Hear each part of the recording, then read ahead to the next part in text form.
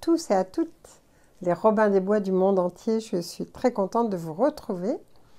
Ce mois-ci, disons pour un ensemble de bonnes nouvelles, vous allez voir que les mauvaises nouvelles peuvent se transformer en bonnes nouvelles. Et j'avais envie de vous en faire profiter. Je vous fais aussi profiter d'un bon feu parce que euh, dans la morosité ambiante et dans le stress ambiant, ça fait du bien.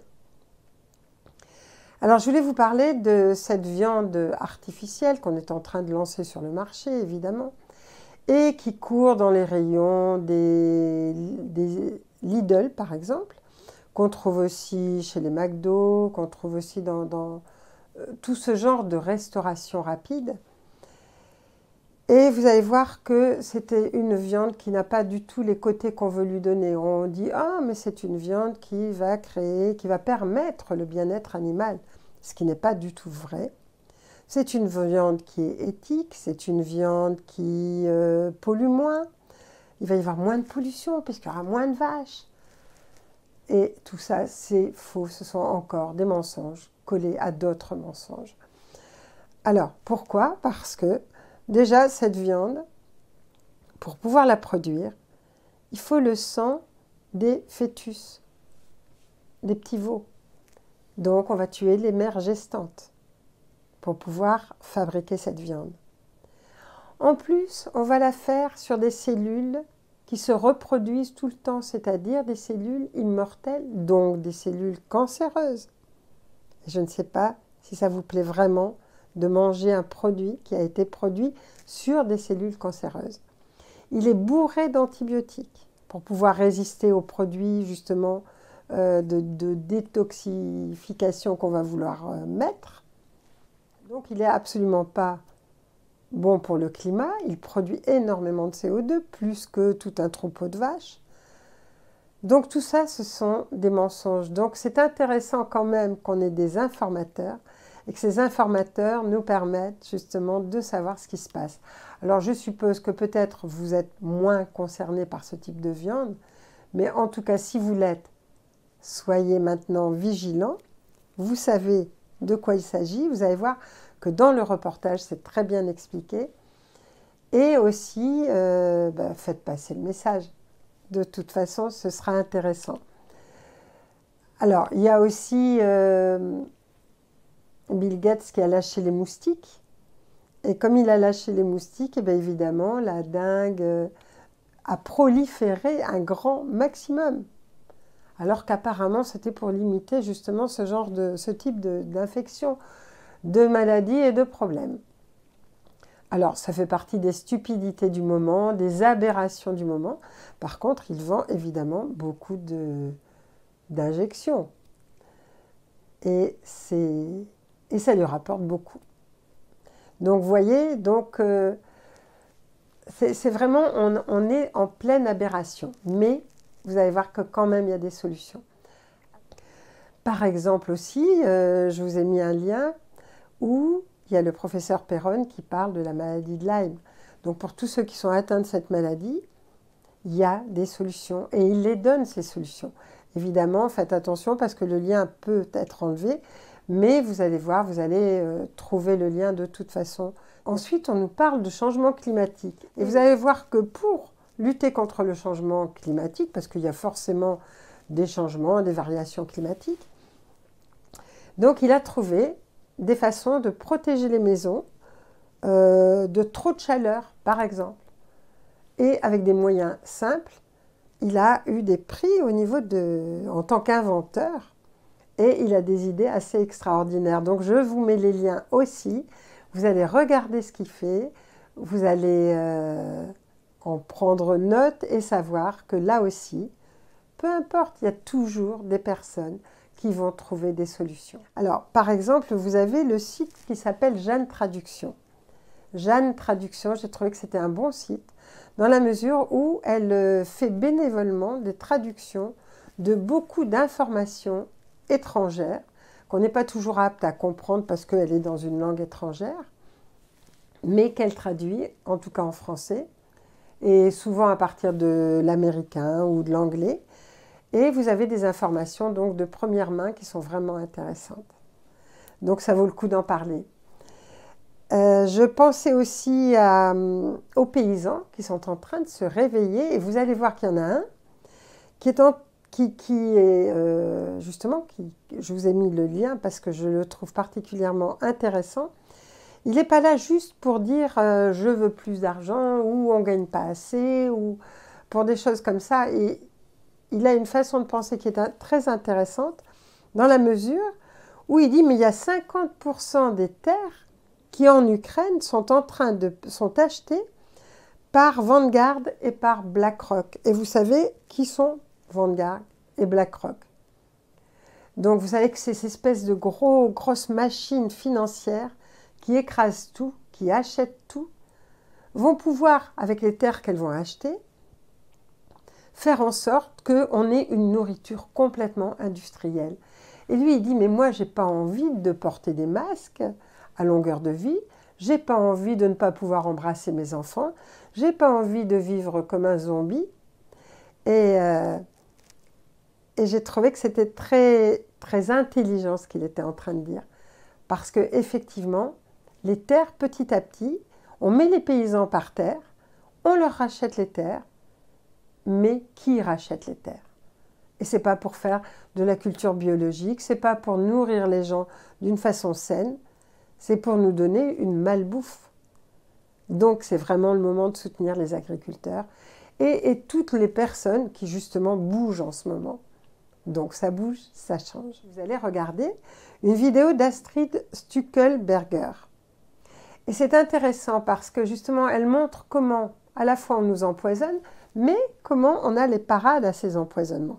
Elle parle du dioxyde de chlore, elle parle aussi du NAC, du glutathion, du zinc et de la vitamine C, qui sont très bénéfiques. Et vous allez voir que donc il y a des solutions à tous les empoisonnements qu'on veut nous, faire, que ce soit à cause des ondes, que ce soit euh, euh, de toutes les façons possibles ou imaginables, on a des moyens de s'en sortir. Et c'est pour ça que je dis c'est aussi des bonnes nouvelles tout ça, parce qu'à chaque fois il y a une parade.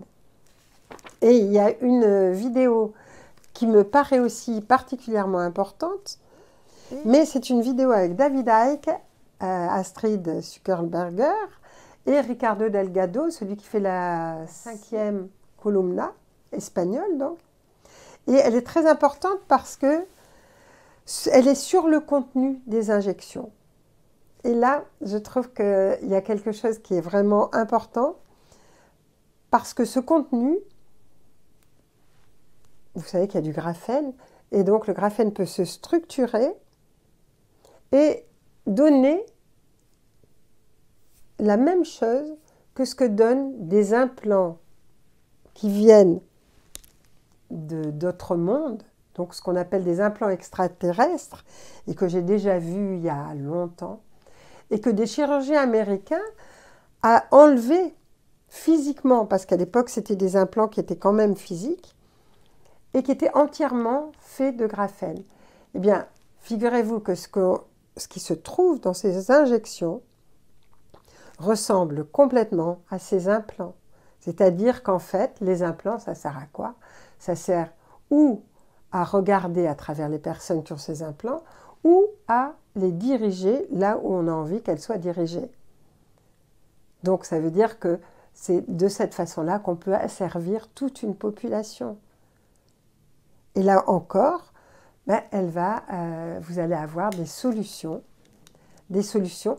Alors évidemment, toutes les solutions là dont je vous parle, ce ne sont pas des solutions qui vont vous pousser vers la spiritualité, mais qui peu à peu, parce qu'il y a d'autres solutions dont je vous parlerai plus tard, mais ce sont des solutions qui font que vous allez hausser votre niveau vibratoire. Mais déjà, ces solutions sont extrêmement importantes parce qu'elles vont vous aider déjà à vous nettoyer et à parer à tout ce qu'on essaie justement de, bah, de, nous, de nous donner, de nous lancer ou de nous injecter. Alors regardez bien ces vidéos et ces liens que je vous ai mis parce que ça me paraît important. Moi, je suis quand même d'un milieu je, issu d'une famille où il y a des médecins, des chirurgiens, des radiologues, donc je ne suis pas contre la médecine telle qu'elle était pratiquée, c'est-à-dire avec amour, quand c'était des personnes qui faisaient ça pas parce qu'elles avaient envie d'argent, mais parce qu'elles aimaient les gens, ce qui n'est pas tout à fait pareil. Et donc, je ne peux pas être contre, effectivement, ces personnes-là. Mais, en tout cas, dans tous ces êtres-là qui m'ont entouré, qui m'ont aimé, et que j'ai aimé, ce sont des êtres qui, en fait, n'étaient pas contre tout ce qui était aussi naturel et qui pouvait aider. ce qu'ils voulaient, c'était de trouver des moyens pour que les personnes puissent guérir. Et ça me paraît complètement fou qu'actuellement on fasse vraiment une scission entre la médecine avec ses médicaments, avec euh, tout ce qu'elle euh, propose, toutes les injections qu'elle propose et tout ce qu'elle euh, prône, et qu'on fasse une scission avec les personnes qui proposent des produits naturels, une façon de se régénérer, une façon de se guérir. Et ce que je peux vous dire, c'est qu'effectivement, il y a des personnes depuis des années, donc je peux voir des personnes qui se sont guéries peut-être parce qu'elles ont eu des chimiothérapies, mais d'autres qui sont mortes parce qu'elles ont eu des chimiothérapies. Il y a aussi des personnes qui se sont guéries par des médecines naturelles d'autres qui se sont guéris ou qui sont mortes aussi, parce qu'à un moment donné, ben, le corps physique est tellement atteint que de toute façon, il va mourir.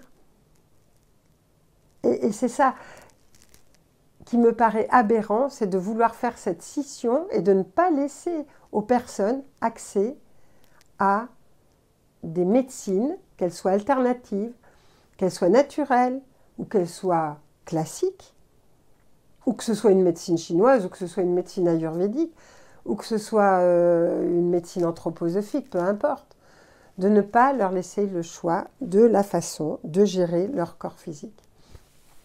Et alors je vous dis ça aussi parce que euh, il n'y a pas très longtemps, avec Antoine, nous avons lu des revues très intéressantes, dont celle de donc justement de Thierry Casasnovas, la revue Régénérée. Alors je vous la montre parce que cette revue, moi je connaissais Thierry, je ne connaissais pas, je n'avais pas lu sa revue, ses revues.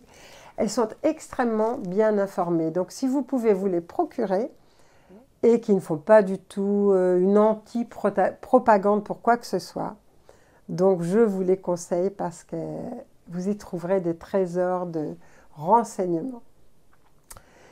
Voilà, alors j'avais envie un peu de vous parler de tout ça et de vous dire que vous voyez qu'à chaque fois qu'il y a quelque chose qui nous est lancé, ou qui nous est proposé, ou qui nous est imposé plutôt, à chaque fois, il y a toujours une solution. Donc il n'y a pas de quoi désespérer. Au contraire, on est vraiment sur la bonne lancée, c'est-à-dire qu'à chaque fois, on va pouvoir faire autrement, on va pouvoir faire différemment et on va pouvoir monter notre état vibratoire. Je voudrais vous parler de l'intelligence artificielle.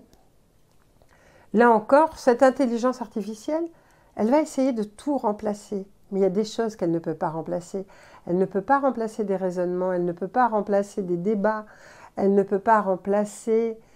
Euh, et vous allez voir qu'il y a un lien justement qui, est intéressant aussi là-dessus. Elle ne peut pas remplacer euh, tout ce qui est du domaine de l'intellect. Elle peut remplacer tout ce qui est du domaine technique, tout ce qui est du domaine technologique, tout ce qui est du domaine euh, pratique. Par exemple, elle va pouvoir remplacer des chauffeurs routiers, elle va pouvoir remplacer des radiologues, elle va pouvoir remplacer des personnes qui se servent de technologie. Mais elle ne pourra pas remplacer ceux qui se servent de leur intellect. Et c'est pour ça que la personne qui est interviewée, justement, et qui a écrit le livre là-dessus, dit Faites en sorte que vos enfants lisent au moins deux livres par semaine pour qu'ils aient l'esprit aguerri à ne pas être toujours sur les réseaux, mais aussi à avoir des, euh, à savoir créer des débats, créer des discussions, ce que ne pourra pas faire l'intelligence artificielle. Aussi élevée soit-elle. Là, dernièrement aussi, j'ai vu euh, qu'il y avait un mannequin, un homme, qui était euh, mannequin euh, connu, et qui à un moment donné a vu des animaux en détresse et il a laissé complètement son travail, il a laissé complètement cette société de mannequins pour pouvoir s'occuper des animaux en détresse.